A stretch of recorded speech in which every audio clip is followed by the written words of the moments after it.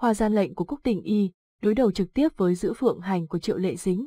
Sau thời gian im ắng, Cúc Tình Y đã trở lại với phim mới mang tên Hoa gian lệnh. Ở bộ phim này, cô đóng chung với Lưu Học Nghĩa. Bộ phim nhanh chóng đạt mốc 2 triệu lượt đặt xem trước trên nền tảng do cu. Ngoài ra, theo truyền thông Trung Quốc, dự án mới của Cúc Tình Y có khả năng sẽ lên sóng vào ngày 17 tháng 3 tới đây.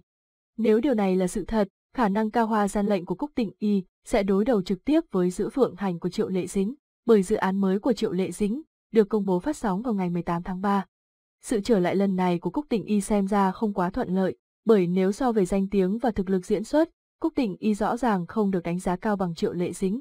Trong hai bộ phim gần đây nhất là Hoa Nhung và Tiên Kiếm Kỳ Hiệp 4, Cúc tịnh Y đều bị khán giả chê bai vì lực diễn yếu, chưa thể hiện trọn vẹn phong thái của nhân vật.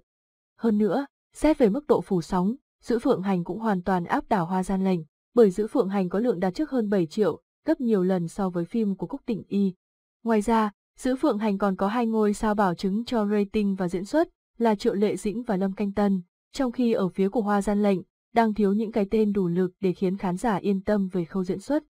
Dù gặp nhiều bất lợi, nhưng xét một cách khách quan, Hoa Gian Lệnh vẫn có một số ưu điểm đáng chú ý. Trong đó, phim có kịch bản gốc được khán giả đánh giá cao, vì nhiều tình tiết khó đoán và gai cấn. Nếu kịch bản được khai thác tốt và có cách làm truyền thông hiệu quả, Hoa Gian Lệnh của Cúc Tình Y vẫn hoàn toàn có thể tạo nên bất ngờ,